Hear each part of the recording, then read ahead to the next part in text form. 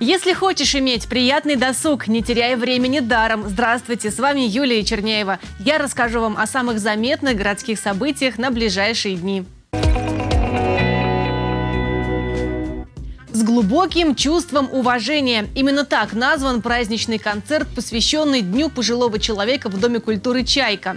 В программе концерта викторины с призами, музыкальные хиты советского кино и, конечно, музыкальные сюрпризы. Впервые на сцене Дома культуры «Чайка» выступит вокальный ансамбль «Сахар» и любительский театр малых форм «Воплощение». Прозвучат музыкальные подарки от театра русской песни «Волжская Русь», хора ветеранов «Ивушка», а также вокальных ансамблей «Созвучие», «Мелодия» и «Веснушки». На праздничной сцене выступят не только творческие коллективы «Чайки», но и приглашенные артисты. Лауреат многочисленных вокальных конкурсов Анна Королева, подрастающая звезда Кузьмина Софья и прославленный хор русской песни «Волжские зори».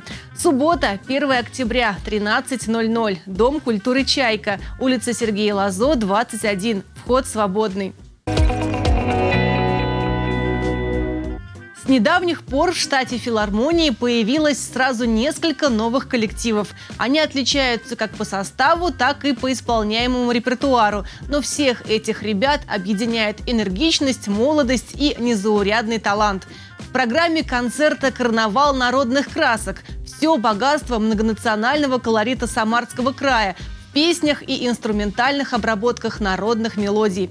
Исполнители – ансамбль народных инструментов «Волга Фолк Бенд», руководитель Дмитрий Буциков, солисты Самарского академического театра оперы и балета Юлия Маркова и Иван Максимейко.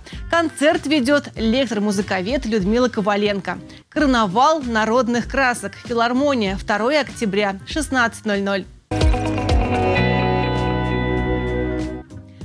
В минувшем юбилейном 85-м сезоне труппа театра оперы и балета с успехом представила Самару на первых в истории театра гастролях на американском континенте. В 20 городах Мексики был показан самый новогодний и волшебный спектакль «Щелкунчик» Петра Чайковского. Балет «Феерия Щелкунчик» считается долгожителем самарской сцены, и в театре это не первая его версия. В спектакле задействована практически вся труппа, около 60 200 человек. Невероятные декорации, ослепительные костюмы и лучшие солисты балета перенесут вас в долгожданную новогоднюю сказку. И поверьте, что порой балет может составить весьма неплохую конкуренцию по ходу в кино.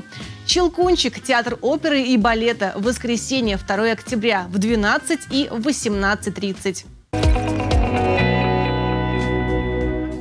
В историко-краеведческом музее имени Алабина открылась выставка «Пора домой. Удивительный мир перелетных птиц». Экспозиция рассказывает об интересном природном явлении – сезонной миграции перелетных птиц, обитающих в Самарской области. Выставочное пространство оформлено фотографиями птиц, сделанными самарскими орнитологами и любителями-натуралистами, картами с маршрутами пернатых соседей, а также сведениями об интересных фактах их жизни и своеобразии поведения. Если вы любознательны, неравнодушны к природе и увлечены изучением окружающего мира, вам точно понравится.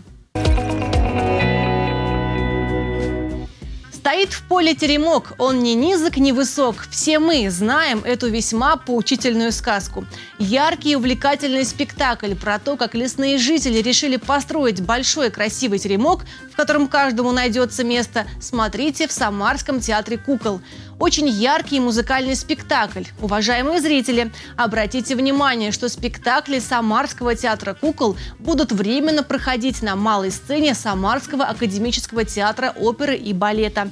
Более подробную информацию вы можете получить в кассовом зале театра. Веселый, необычный спектакль-игра об отношениях родителей и детей «Бука» дает в эти выходные театр кукол «Лукоморье». спектакле много шуток, хорошей музыки, перевоплощений. «Дедушка, поиграй» и «Маленькая принцесса» приготовили для юных зрителей много забавных и интересных игр. Кроме того, по окончании спектакля всех ждет сладкое угощение. Спектакль проходит в фойе театра в камерной домашней обстановке. Количество зрителей не больше 20 человек. Рекомендовано для зрителей старше 4 лет. 1 октября в 11.00, 2 октября в 13.00. Театр кукол «Лукоморье». На сегодня все. Хороших вам выходных и отличного настроения.